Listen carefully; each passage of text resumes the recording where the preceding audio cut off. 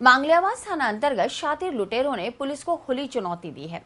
लुटेरों ने अजमेर के निकट सराधना स्थित अजमेर डिस्कॉम के पावर हाउस में वारदात को अंजाम देते हुए चार कर्मचारियों को जख्मी कर दिया। लुटेरे इन कर्मचारियों के मोबाइल फ़ोन नकदी और अन्य कीमती सामान लेकर फरार हो गए।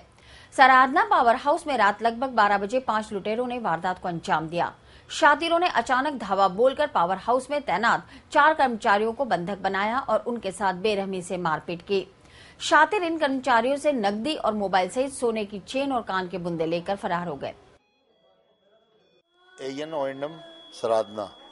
वहाँ पे दो गार्ड और दो कर्मचारी रात को 12 बजे ड्यूटी पे थे उस टाइम पे।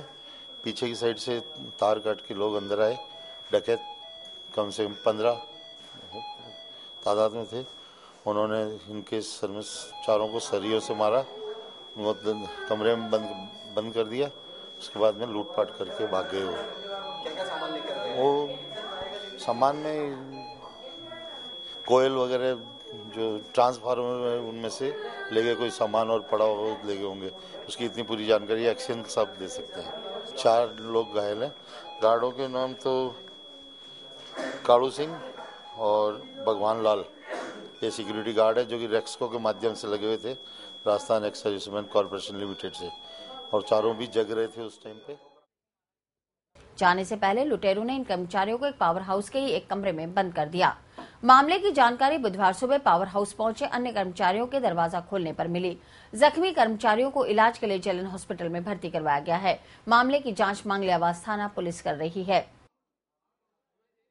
ये अपना साया का बेन में हुआ था। वहाँ पे रात को 10 बजे से करीब लगभग 10-12 आदमी आए थे।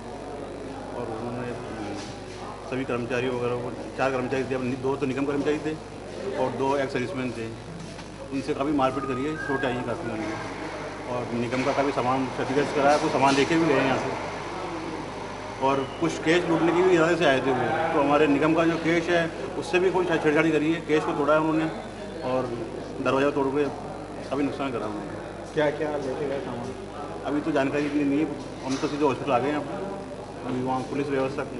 जिन हम हमारा जिन लोगों को इनके पास से क्या क्या सामान इनके को मोबाइल वगैरह जला दिए इनके और कुछ पैसे थे वो छीन के ले गए और एक के कान के सोने के लोग थे वो भी निकाल के ले गए।